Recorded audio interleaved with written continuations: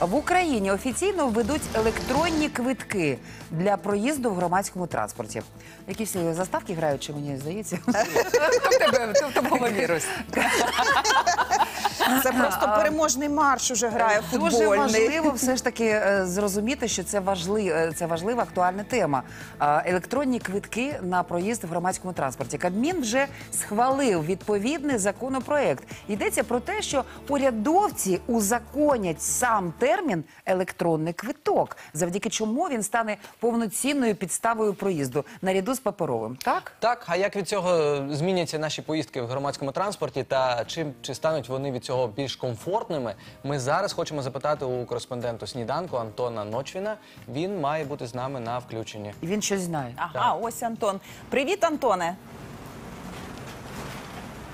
Антоне, привіт. Ну для того, щоб зрозуміти, як зміняться.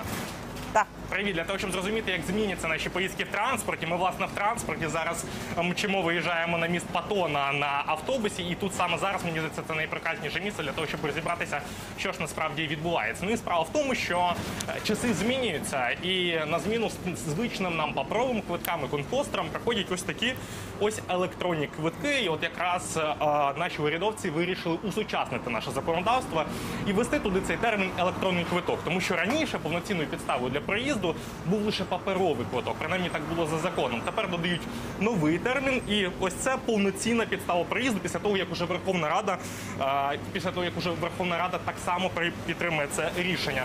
Саме ось ця прогалина у законодавстві заважала розвивати якраз сферу е, технологічну сферу електронних квитків по всій Україні. Але тепер не поспішайте викидати свої паперові квиточки. Вони продовжуватимуть діяти. Їх ніхто не скасовує.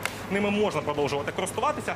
Лише урядовці створюють ніби такий дороговказ для того, щоб всі міста окремо у нас децентралізація, кожне місто вирішує окремо, могла запроваджувати систему електронних е, квитків. І ось з такими змінами, з таким дороговказом запроваджувати ці зміни можна значно легше. Ну і я вам так скажу, що електронний квиток це передусім про зручність. Дивіться, я підійшов, хоп.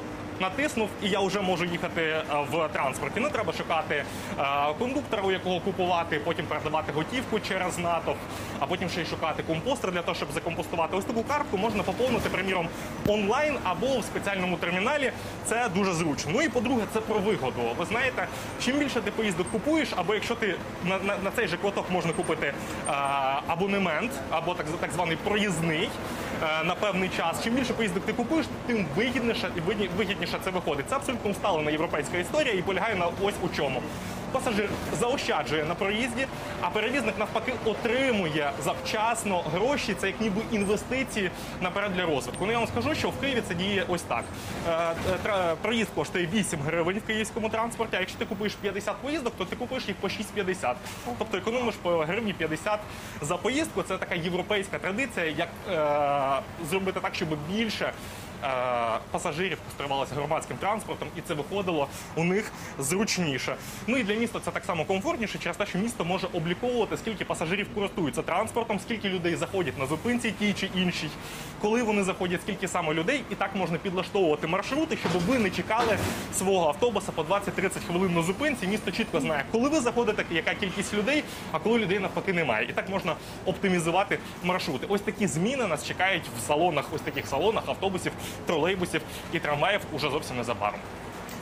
Слухайте, дуже дякуємо тобі, Так. Антон. Це крута Ми ініціатива. Ми Да, крута Все ініціатива. І час економиш, і кошти економиш. Хочу сказати, що це був е, журналіст сніданку Антон Ночвін. І він розказував про електронні квитки в громадському транспорті. І тепер ви навіть зможете зекономити гроші. Якщо ви купуєте одразу 40 квитків, ви їх купуєте не по 8 гривень, а по 6,50. А ми повернемося за мить.